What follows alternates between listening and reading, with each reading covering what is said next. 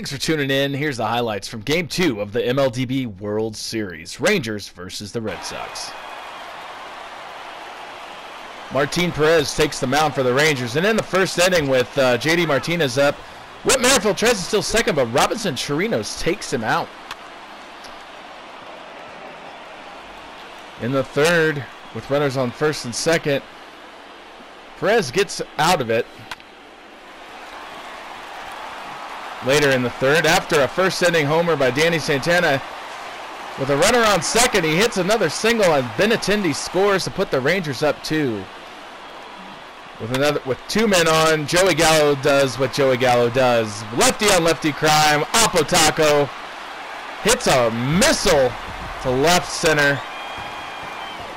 Let's take a look at that again. 400 feet for Mr. Joey Gallo as he continues his torrid pace in the postseason. Moving on to the top of the fourth with runner on first. Todd Frazier makes a nifty play to start the 5-4-3 double play, and Rangers still have a 5-1 lead. In the top of the sixth, Todd says, no, no, no, we're going to do this again. It's another 5-4-3 double play to keep the Rangers up by four. After one out in the top of the eighth, J.D. Martinez gets a hold of a Martin Perez pitch to knock the ball out and the pitcher out of the game.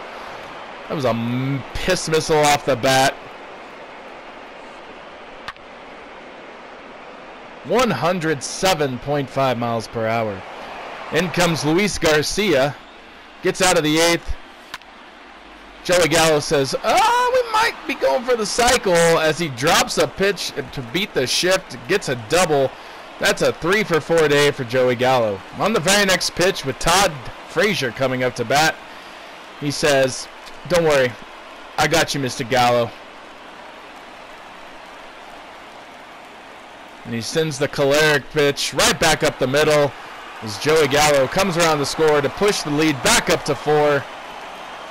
And the Rangers move to the ninth inning with Luis Garcia getting the save. As you can see, Joey Gallo three for four on the day. Rangers win six to two. Joey Gallo, the man of the game. And that'll do it for game two.